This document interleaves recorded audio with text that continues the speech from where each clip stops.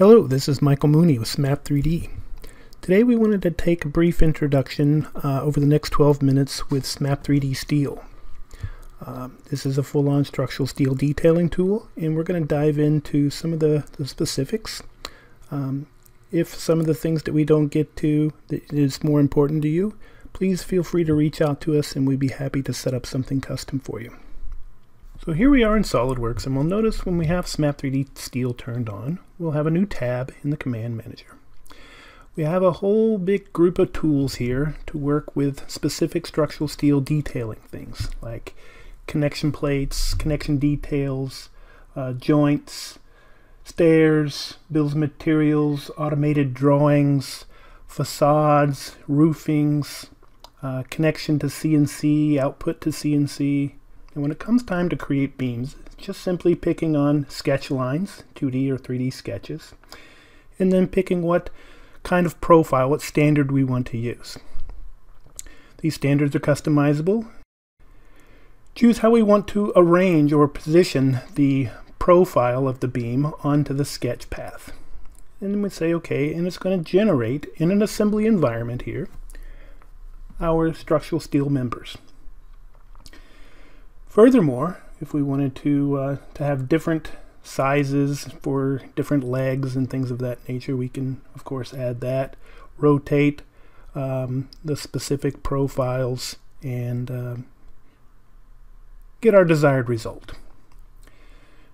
Now, we're not limited to just adding beams along sketches. We can also add beams through points. So if we just have points out here, we can pick on two points, and now we'll create a beam between those so even less work.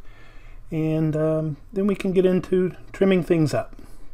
So many different ways or several different ways here to, uh, to do that. In this case, I'm just going to uh, either contour shape or, or bottom together, or I, in this case, I'm going to miter them. So my first miter, I'm going to have zero gap. Over here, I'm going to throw in a five millimeter gap there just to, uh, to make things fit in together a little easier in the field. Um, when it comes time for trimming things up, we can get into uh, some other styles as far as coping the beam end. And so then we can choose the parameters of that and have this automated as well. So doing some more advanced kind of cutting. Now sometimes we want to come in here and trim multiple beams with a common entity like this, the face of the bottom of the beams here. So we can do that quickly and easily. When it comes time for cross bracing, those are just a different type of a beam, right? So we can just come in and also automate the gusset plates as well. So we'll create another beam here. We'll choose a different profile, like an L profile, and we're not limited to stay on the sketch. We can actually offset things instead of having to adjust the sketch. So with a gusset plate, we'll just come over here and select the faces that we want to connect so that we'll automatically trim that beam back for us. We can set up presets um, so that it remembers our parameters so we don't have to key in all of these values every time and this can help us adhere to specific codes that you might be uh, required to design around. Over here we want to connect a beam and instead of just trimming it, I'm going to actually put some more connected details. And so in this case, I'm going to say that I want a double end plate, and it will automatically pick the size. Another type of connection detail might be a miter plate. I want to connect these two beams together, and instead of welding them permanently, I want to make something that can be a, uh, a little more um, flexible. So when we select our beams, then we'll get a list out of our, our, uh, our standards and it'll have all of our, our bolting information. We can go in and, and make some modifications to this or even save that as a different preset. So I'm going to say I want the top to be flat here so that I can get my, my platform um, flooring down. And we can continue on to, to, to trim things up or to connect things um, in different manners here. In this case, we can even make changes to existing end plates if we decide later, oh, I need a double end plate here on this end, and even create a special little end plate here that's going to be set up to easily um, take on a haunch plate. So with our haunch plate tool, we're not going to get into every single tool that we have, but these are some of the kind of bigger ones, I think. A haunch plate, we just need to select what faces it's going to connect to, and it'll go ahead and start identifying, we can control how much parameters we want here. Maybe I want some extra stiffening there, and then we can even further reinforce this with some ribs. So we actually have a rib tool in here as well. And we just need to pick the beam that we want to put a rib on, and then where do we want it to be? Right in the middle of the rib or to a specific feature? So I'll pick the end of this haunch plate and uh, off the cord there and then I can give it its parameters as well. So it pops that in for me, and, uh, and life is good. And it also put one on the other side. Now tying this into the ground, we can also have another type of connection here with the base plate. So with a base plate, we can choose what beam we want to put it on, what end of the beam, do we want it to be offset from the, the floor, do we want to put an anchoring uh, shear stub in there as well? So we can get in here and have control over that as well. Do we want to rotate it or what, what parameters do we want to work with? How long is it? What uh, beam profile do we want to use? As well as if we wanted to put bolts in there, what specific kind of bolts and all of that good stuff. Right, so we got our base plate in there. We could repeat that onto the other um, beams as well. Um, but now we need to, to get some more connection details up here as far as maybe I want to put a clip angle um, connection. And so we can automate this as well. Just select the faces of the beams that we want to connect and then we can uh, have full control over the parameters of these. Okay. We can also get into, uh, you know, instead of adding the bolts with the feature, you can come back later and you can say, well, now I want to manually add bolts.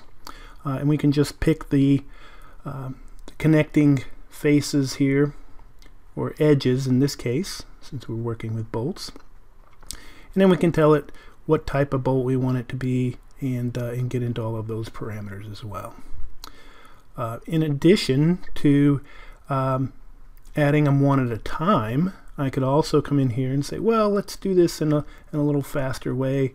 Um, once I get these, these two in here, we could actually come in and select faces if it was going to go through multiple layers or multiple holes in one face, that type of thing. So I can get into a multi-select and pick these sides and say, hey, that looks good. And it automatically picks the correct length there for us based on your standards and recognizes those, those holes that have the common faces. Okay. So manual boltings is one option. Again, all of the rest of the boltings I've been adding in there automatically when I've added the features uh, and the components. Another type of connection that I might need to get into would be a, a bearing gusset plate. Okay, This is a great little tool that we can come in and just say, well, what um, beam and what face do we need to connect these multiple items to? And then uh, we can have some controls in there as far as what shape do we want it to be and in that type of thing. But it's going to come in and create these um, these mounting situations or connection details for us. Now let's step back here and take a look at this. Instead of using a, uh, a miter plate here I could come in and put in a, a splice joint. Okay. so we can pick the parameters of how many uh, holes do we want and what pattern? And again with our manual bolting here I could come in and quickly and easily just select the two faces where are going to be interfacing the bolts. And then this way our bill of materials is going to be nice and complete. Now for stairs. Stairs is a complex operation and uh, time consuming so all we need to do is since we've got this automated we can come in and pick an existing uh, edge of a beam or we don't even have to have anything. It can just be some sketch information and then you can put in the parameters of your stairs. You can save these as, as favorites. Um, and then the same with guardrails. Pick the edge of the uh, the geometry that you want to to put a railing on. Uh, what size do you want it to be? What are all of the parameters here that we want to work with?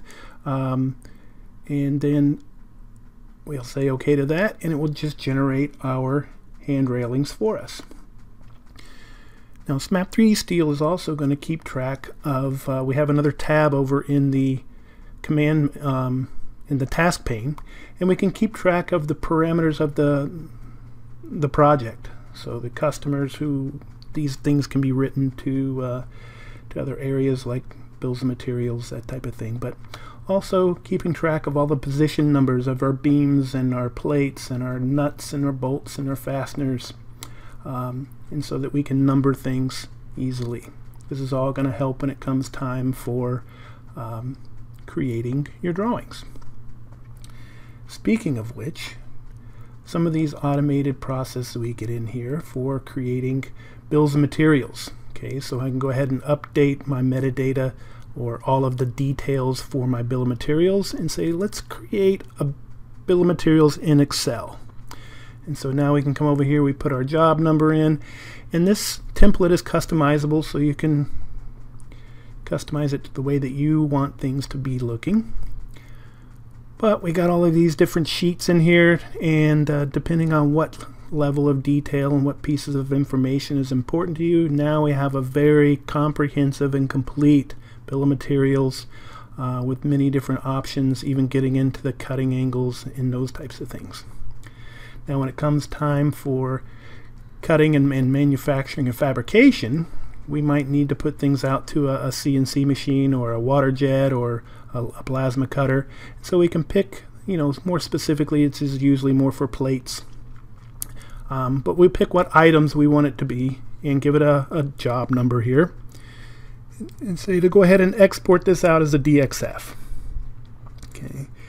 And another option here would be getting into uh, full-on SolidWorks drawings. So I could do the entire assembly, uh, or you can do individual parts one at a time and select which ones you want. So it will automatically detail things out based on your SolidWorks drawing template. So you can control it with that, and then we can get in here. We have our drawings um, with our in our SolidWorks drawings, as well as that DXF.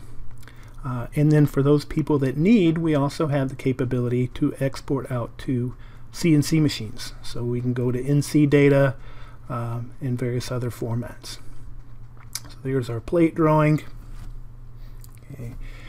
And so, yeah, hopefully this is going to be very helpful for you guys. If you want to look at a more detailed look and, uh, and dive in specifically for your customers' needs, uh, feel free to contact us and we'll be happy to, uh, to set up a custom presentation for you.